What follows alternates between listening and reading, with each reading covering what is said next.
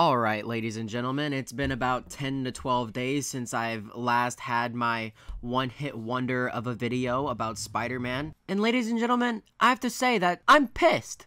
I'm not famous anymore. And I thought, you know, instead of wallowing in my success from that video that's clearly done so well, I've thought that I should come back, put on my big boy panties, and come and talk about Spider Man yet again. If you haven't watched that other video, I recommend it to you highly. Mm-hmm. If you're a Spider-Man fan and if you think that you have what it takes to be the biggest Spider-Man fan in the world then come and help me out on that other video. The the, the there's a there's an i card I'm telling you to come and watch the video and help me out, but don't even fucking try it. I'm the best Spider-Man fan in the world. I'm the biggest, right next to Mimi Barks and Ryan Caraveo, and and buy the buy drink. Let me tell you something. Yesterday I was on my way to. Oh, that's a good episode. Oh wow. Yesterday I was on my way to a job interview. It didn't work out. It's it's fine. Don't worry about it. Job wasn't for me. That's how it ended, right? But on my way there, there was a road that was closed. I was like, hmm,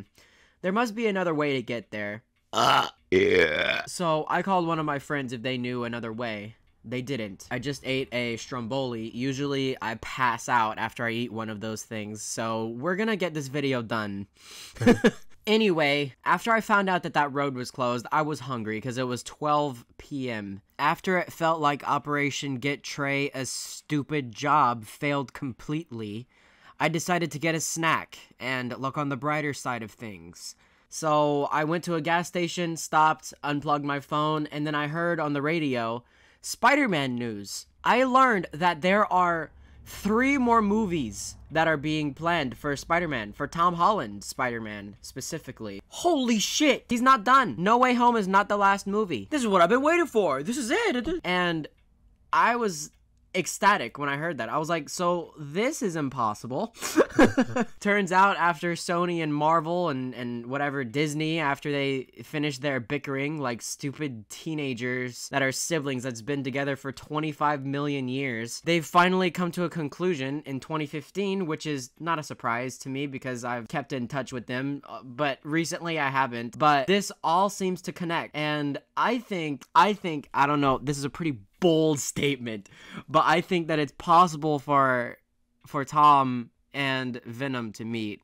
I I think I think it's po- I don't know. It's possible, okay? it's it's possible. It's highly possible. There's definitely been some type of content change on my channel, somewhat. if you want more talky videos like this, then just let me know, okay? But I need to talk more about this cuz this was this was kind of crazy. But yes, after a few little disagreements, it seems to say at from viral dot I mean, fuck. but yes, it seems to say that from variety.com after decades of Spider-Man not being an actual part of the MCU that they finally got him to be in the MCU. And that's when we saw him in Captain America Civil War. And he was like, hello everyone. You know what I'm talking about? Now, for what I'm about to say in the rest of this video, this is where this video kind of goes like...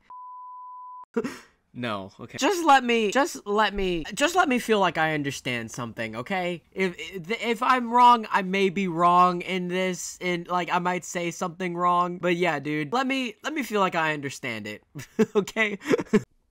Mm. And it turns out that the producer of the Spider these Spider-Man movies with Tom Holland really loved Tom Holland, and they loved him so much that after No Way Home, they're going to make more movies. And, and, that is such that is so amazing to me.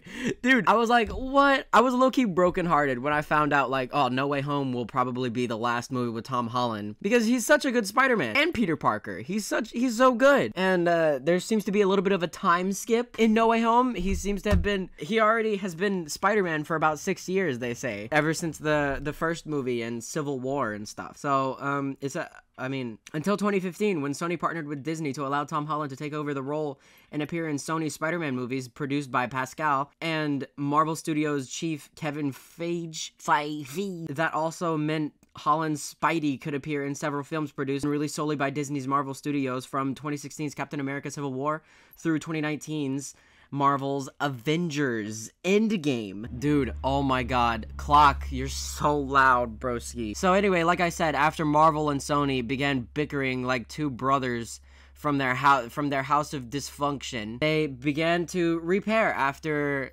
Tom Holland himself and a bunch of fans began protesting and creating interventions to help them get back together. And after they came back together, Marvel decided to put on their big boy panties like I did at the beginning of this video to just make it. They they worked things out. They worked things out and now Spider-Man is is good. And this all happened after Far From Home, which is which is kind of crazy because I don't know. I don't know what's going on. I don't know. What is your opinions? What are your thoughts? What are your thoughts? What are your opinions? Please tell me. Um, I don't know if this video was bad or good or shit or wrong or something, but I'm excited. What do you think about three new Spider-Man movies with Tom Holland? I think I'm excited. I don't know about you, but um, yeah, that's pretty much it. I'll see you later and like and subscribe for more videos. If you want me to do talkie videos, I can do story times. I can do I could do anything. I I kind of like these talkie videos. Yeah. Um but yeah, I'll see you later. I hope you enjoyed. Don't take anything too seriously, okay? It's fine. See you later. BepTweBot.